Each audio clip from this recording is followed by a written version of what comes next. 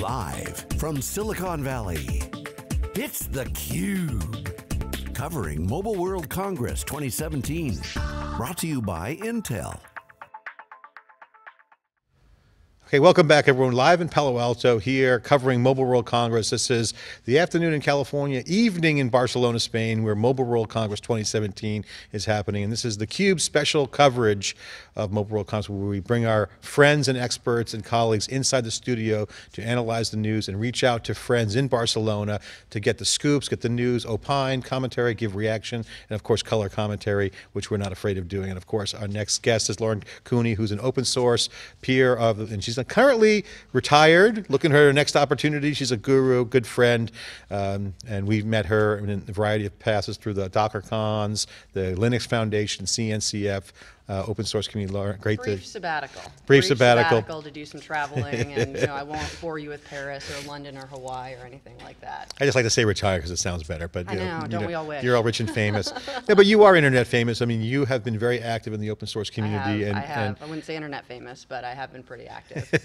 well, we're now on the cube. You've been on the cube multiple times. No, but all seriousness, this is a fun time of open source. You couldn't be uh, more pleased, at least from my standpoint. I love the action. Mm -hmm. If you look at what cloud native has turned into and where it's going, and the, the, forces around where Mobile World Congress is bringing the old telcos mm -hmm. into, in essence, an enterprise data center scale-like environment. Mm -hmm. You're seeing the collision of what was once like large-scale enterprise scale mm -hmm. with software yep. coming in with an old school telco trying to reinvent themselves mm-hmm. and that is the future of the world and that's exciting and you know you're in the middle of it and so a lot of stuff that we're involved in is center is the center point of mm-hmm. innovation so I think it's a great, great time to talk about that. First, I want to get your thoughts on Mobile World Congress.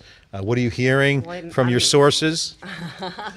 I'm hearing a couple things from my sources. So uh, FD.io, which is actually a project that's under the Linux Foundation, is going to be announcing some things this week. They are a software router that actually is operating uh, at, I believe, half a terabit right now, and they're going to be, I believe, improving that performance significantly um, and that will be announced, I think, at Mobile World Congress or potentially in the next week or so. So this is not yet hard news yet. So this, this is kind is of not yet hard news, but I'm keeping my ear on the street, and that's what I'm hearing. And so. what's what's the impact? Let's talk about what this means and kind of in context to where it's been and the progress in that area. Well, if you start to look at the overarching umbrella that you're looking at from a networking perspective, things are all going to be faster. You know, there's 5G. Everyone's talking about how 5G is going to work what it's going to do, how it's going to enable IoT, um, you know, artificial intelligence, et cetera, things along those lines. What you really have to look at is, is how at the networking layer it's going to actually impact that. And you have to actually have the plumbing working so that you can mm -hmm. actually have the 5G working in the right way. So the plumbing has always been the problem. And, and again, the big buzzword and the theme coming out of uh, uh, Mobile World Congress is the same game, but now in a different arena, which mm -hmm. is mm-hmm. network transformation. Mm -hmm. So this is what you're getting at is this the network is still a bottleneck. So a lot of talk about NFV and a lot of talk mm-hmm. about SDN, kind of in a new mm-hmm. context. Your thoughts on what you're seeing around the, the positioning of how people are looking at NFV now, vis-a-vis what is obviously on the horizon, which is kind of the glam, super demos. You're seeing all the, the sizzle, sizzle reel is autonomous vehicles, smart cities, uh, autonomous, uh, yep. smart home, media mm -hmm. entertainment over the top. Uh, Netflix was out there. Reed Hastings was was giving one of the keynotes. So mm -hmm. you know those are the four key areas. What I call the mental models of, of sex appeal for the tech. Yep. And and, the, and obviously VR and AR, mm -hmm. virtual reality is in there too. I put that in with autonomous vehicles, with drones and whatnot. I mean that's cool stuff. Mm-hmm. But yet, the operating model for that stuff is completely different. Totally different totally different. And what you have to look at is really how the network's going to enable that with virtualized functions and things along those lines. Um, when you start to look at how these telcos are actually going to deliver mm -hmm. on 5G, you have to look at how their networks are implemented and how they're actually implementing NFV and SDN. Most of them have already implemented SDN successfully. Mm -hmm. NFV is something new. People are looking at OpenStack. People are looking at you know, the Cloud Native Computing Foundation, people are looking at Kubernetes. They're thinking, how are we going to actually have this work all together so that we can actually achieve this at talk, that higher talk about abstraction the, the layer? Lauren, talk about the sentiment in the developer community around uh, the Cloud Native uh, Compute uh, Foundation, which has evolved under the mm -hmm. Linux mm-hmm. Foundation, and it really is a top of I call I won't say top of the stack, but much more of a glue layer around mm -hmm. orchestration, containers, microservices. Mm -hmm. These are beautiful um, paradigms for developers in a world where you have need dynamic networking. Mm-hmm. Yeah, right? it's essentially, I mean, Kubernetes is essentially, you know, container management, right? So when you start to look at the impact that containers are having, you you start to look at and where they're going, right? You're looking at mm-hmm. containerization of network functions. So you're not just looking at applications now, you're looking at network functions as well. And how's that going to happen? And I see Kubernetes moving down the stack. Effectively, you know, one of the things to look at is how Kubernetes and OpenStack are going to work effectively together going forward. Yeah, and I think that's going to be, you know, if the vendor, you know, arm wrestling and, and body slamming doesn't, you know, take toll on the industry, I think that could be a nice collaboration. And I wonder about the ecosystem. So the questions that I'm asking myself when I look at, you know, the, the world is, you know, who's going to be caught with their hands in the cookie jar trying to influence for their own vendor purposes their own uh, spiel? Because, you know, open source has been an honor system for many decades and uh, generations. So I find it fascinating because I think the stakes are very, very high right now uh, in the work that the Linux Foundation is doing in some of these areas where open source has been the key Yep. to most of the innovations. We're going to have our next guest coming on. He's one of the early um, engineers at Yahoo. I think he was like the fourth or fifth employee, built that up at large scale. And again, built on open source. I mean, everything now has been pure open source. So again, not much of this is being talked about at uh, at uh, Mobile World Congress. Yet words like software-defined radio, software-defined networks, software-defined blank. I mean, it's becoming software-defined. So I'm kind of thinking, what's your thoughts on, you know, the role of the developer community as uh, the, de- the hardcore developers, whether they're you know the full stack hardcore developers or more artisan composable developers. I mean, I don't mean to Well, you have to look at kind of the, the layers of developers, right? There are fewer layers at the networking, or there are fewer developers at the networking stack layer. It's just more complex. There's just not a lot of programming that you can do. You move up the stack, you get to Kubernetes, you get to Cloud Foundry, you get to things like that, and there's people that are building really cool things. I think that what we're going to have to be looking at is the communities out there that have the most developers today, and those are already well-established companies. You've got Microsoft, you've got AWS, you've got Salesforce you have um, you know OpenStack to a certain extent.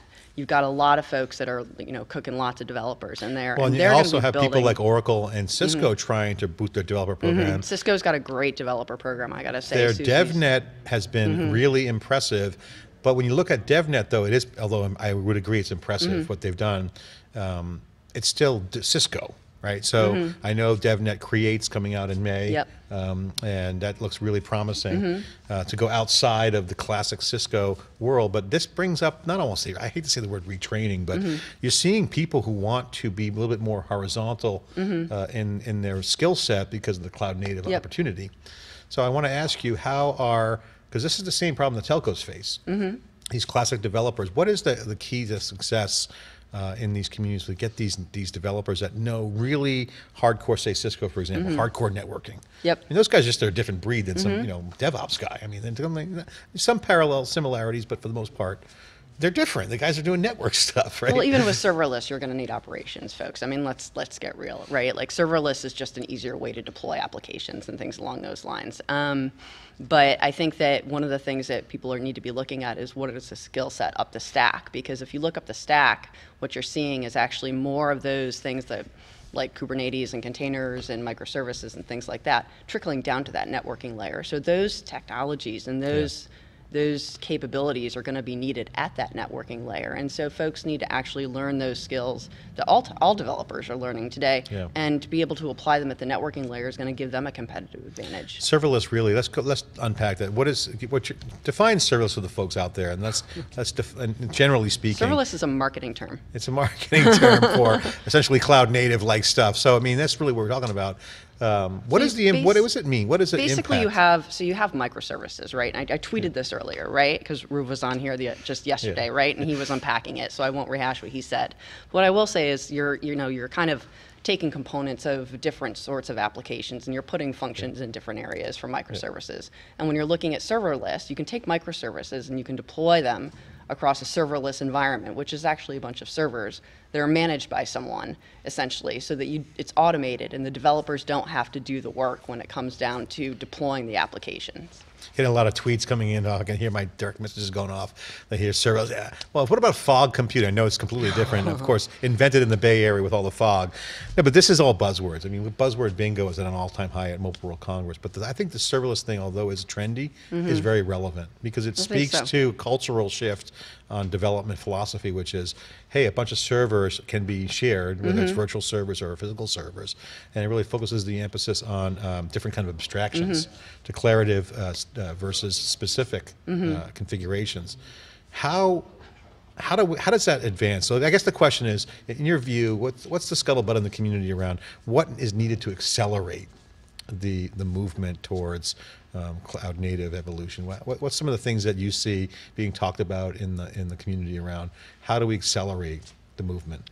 Well, I think it's I think it's going to be interesting. I mean, I think it's going to be um, like let's take it a step back almost, and let's take a look at open source and where open source is going, and then let's take a look at AWS. And I think it's um, you know they've got an IoT platform that is in I think limited trial right now.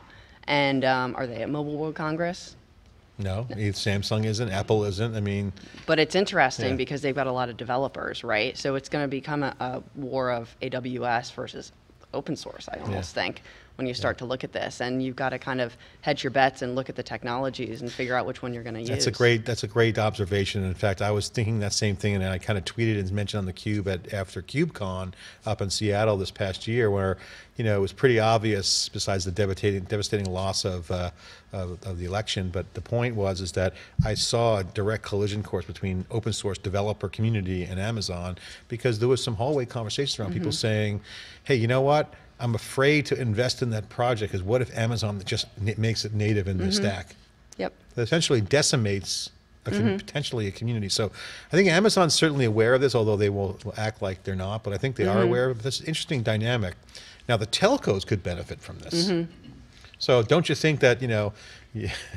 My enemy's friend is my enemy. What's that expression goes? I mean, the telcos could say to the open source people, "Hey, let's do this." Well, I think Amazon's going to be smart and make some good partnerships as well, right? Because they, you know, you've got off-prem, and you've got on-prem, right? And you've got to kind of figure out how to do that hybrid environment for the cloud and what developers want and what telco providers want and things along those lines. There's not just, yeah, no one's going to take all their stuff Yeah. and push it into the public cloud. I think it's a wake up call for the developer community. I mean, I think you know, being a developer of early days with open source was interesting because, like, I think the developers can be a little bit arrogant. I don't mean this is a negative thing, but I mean, Amazon is not as Machiavellian as people think give them credit Mm-hmm. for. They're very customer centric, and they'll do what the they'll weigh on the air on the side of the customer. They're excellent. So- They're excellent from a developer focused perspective and a customer focused They're very customer focused, but that being said, I think the developer community can Mm-hmm. be customer focused too as well. So the question is, you know, there's a there's a trade off and there's tension between Mm-hmm. as an entrepreneur, I would be nervous about starting a company where Amazon could literally put me out of business. This is the same Mm-hmm. rationale that we when I was growing up in the business, uh,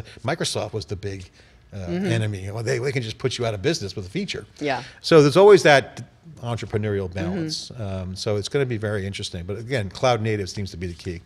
Right, any other news uh, for us from uh, Mobile World Congress? No, I think I kicked it off with some of the news. I think that it's interesting. You know, Cisco's doing some things with Jasper and things Yeah. along those lines, and they've increased the number of devices that are connected to that management platform pretty significantly. I think that's interesting. Um, also, you know, Cisco also partnered and did some work with 5G and Verizon. Mm-hmm. And when is 5G really going to come out? I know you guys have been talking about Yeah, that. it's a mixed reaction on that. I mean, Intel reaction. Mm-hmm. says Olympics uh, in 2018 most probably would be a trial network. They already have some trials, but I think the general consensus is, you know, there's a lot of FUD now being uh, put into the into the Mm-hmm. the network because Intel's put a big stand. I mean, Intel's going big on this thing. So, Mm-hmm. um, I- I mean, the question comes up is, do I want more bandwidth or more mobility or more battery life? Yeah, I mean, mean- I just reviewed a bunch of sessions for the Open Networking Summit. So I was on the group in the group that actually picked the sessions for what's going to be at the Open Networking Summit. And 5G is going to be covered. There's a lot of different things there that are going to be covered around this area.